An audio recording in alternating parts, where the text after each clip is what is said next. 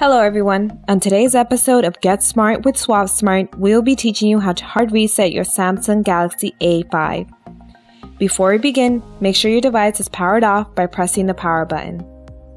To hard reset your device, we will need to press the volume up button, home button, and power button. First, hold the volume up button, now the home button, and finally the power button until the Samsung logo appears.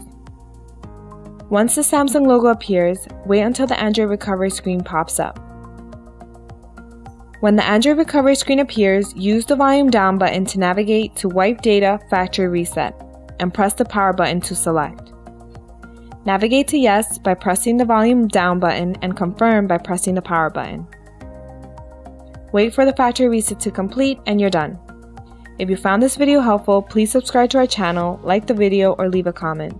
We'd love to hear from you. Thank you for watching. Until next time.